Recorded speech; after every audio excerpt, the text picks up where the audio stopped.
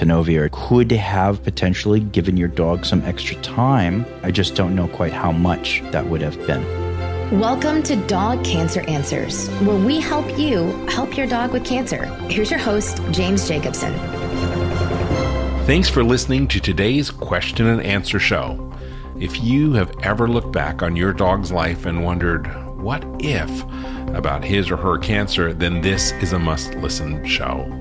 That's because we are taking a question from a loving dog mom who is looking back at her dog Effie's lymphoma five years ago and wondering if Tanovea, a drug that is sometimes used for rescue protocols in lymphoma cases, could have helped him if it had been around when he was sick. But Deborah, our caller, also asks another more painful question, one that maybe will resonate with you. Did she somehow contribute to her dog's cancer with poor quality food or too much stress from traveling? And in just a couple of sentences, Dr. Demian Dressler gives her the answer that her mind and heart have been waiting for. Now, let's open our own hearts and listen carefully to Deborah's questions and Dr. Dressler's answers. Hi, my name is Deborah Silver, and I'm calling from Drexel Hill, Pennsylvania. Today I was reading something about a new drug called Tanovea that is in a approval stage where they're doing testing but allowing veterinarians and oncologists to prescribe this product for dogs with lymphoma cancer. And I wondered if you could tell anything about the efficacy and safety of Tanovea. My dog Effie, he died in February of 2015 and he had a six month remission from his first round of chemotherapy. He had a three and a half month remission his second round of chemotherapy. And then when it came to his third round, he wasn't responding, and the oncologist said that he was too sick to be having any other chemotherapy drugs tried on him, and he died.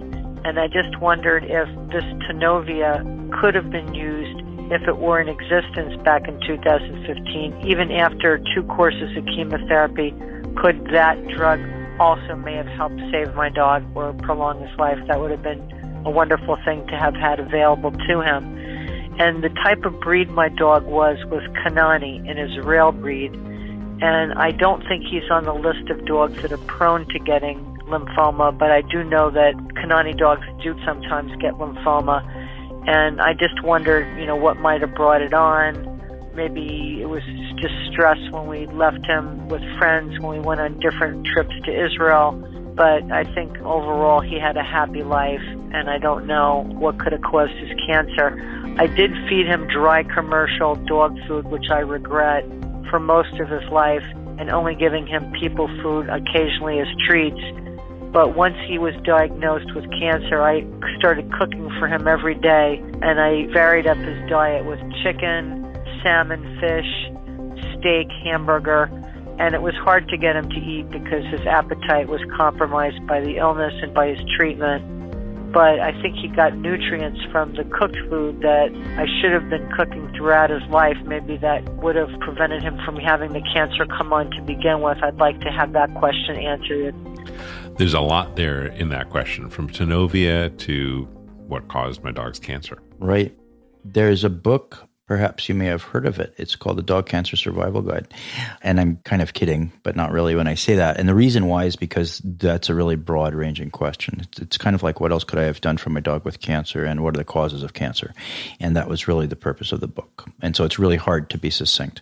However, what I will say in terms of Tanovea or Tanovea, depending on where you're from, Yep, it's got some anti cancer effects. I don't perceive it to be God's gift for lymphoma.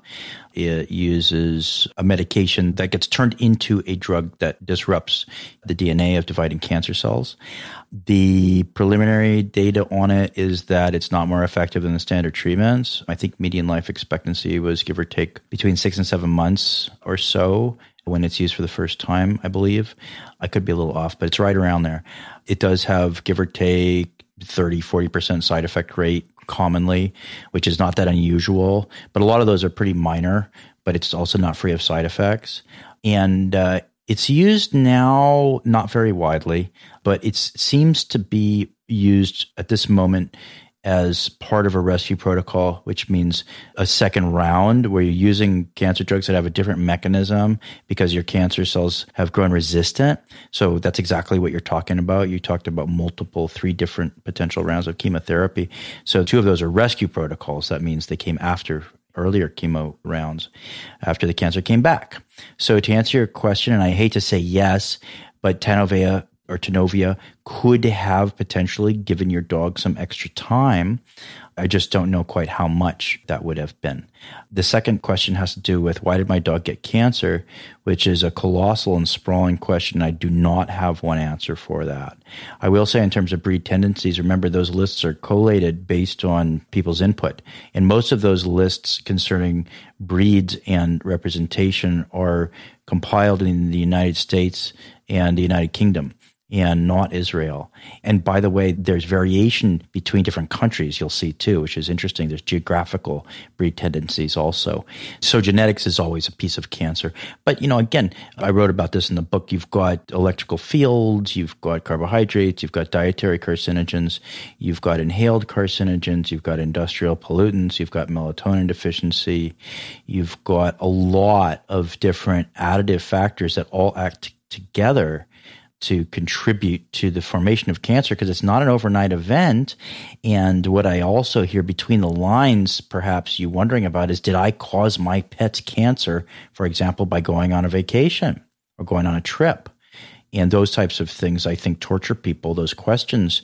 And the answer is no. I don't think that you caused your dog's cancer, you know, in these ways. I think that's unlikely because remember, cancer takes time and it's a multi stage event. So I would be careful to not beat yourself up over any of this. Deep question. Thank you.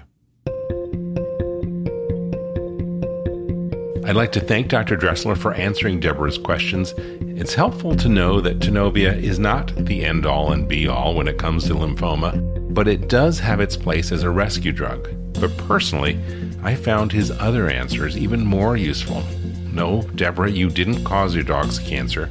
Cancer starts long before we know it's there, and there are a lot of factors that have to go wrong for it to start, take hold, and grow big enough to become a problem.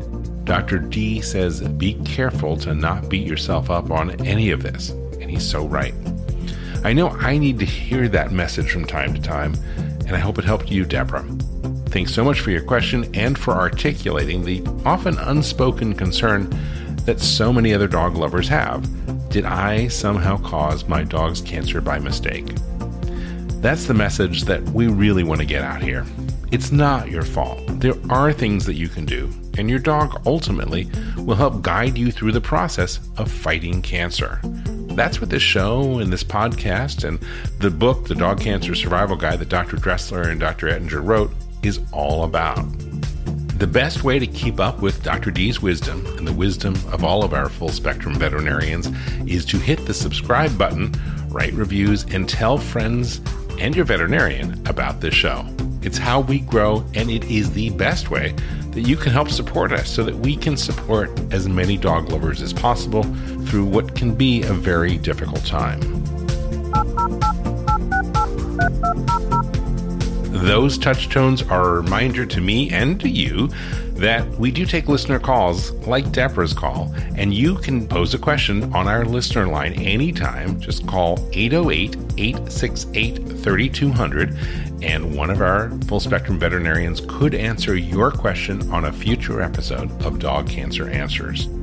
Speaking of that website, that's where you can listen to or download our full back catalog.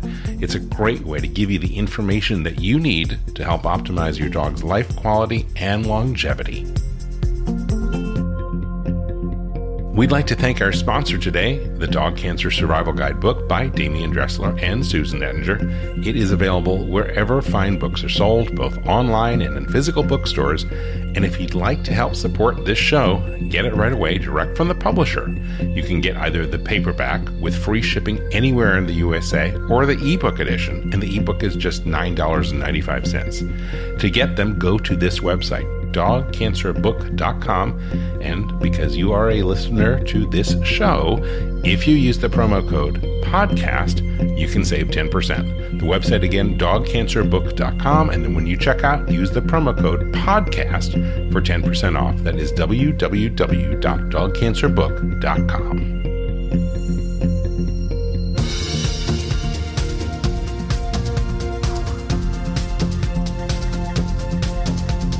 I'd like to thank Dr. Demian Dressler for being our guest today. If you'd like to reach out to him, his website is vetinkihei.com. That is vetinkihei. I will spell that K I H E I.com. Also, our thanks to Deborah for that vulnerable and heartfelt question. Until next time, I'm James Jacobson. From all of us here at Dog Cancer Answers and Dog Podcast Network, we wish you and your dog a warm aloha. Thank you for listening to Dog Cancer Answers. If you'd like to connect, please visit our website at dogcanceranswers.com or call our listener line at 808 868 3200. And here's a friendly reminder that you probably already know this podcast is provided for informational and educational purposes only. It's not meant to take the place of the advice you receive from your dog's veterinarian. Only veterinarians who examine your dog can give you veterinary advice or diagnose your dog's medical condition. Your reliance on the information you hear on this podcast is solely at your own risk. If your dog has a specific health problem, contact your veterinarian. Also, please keep in mind that veterinary information can change rapidly. Therefore, some information may be out of date. Dog Cancer Answers is a presentation of Maui Media in association with Dog Podcast Network.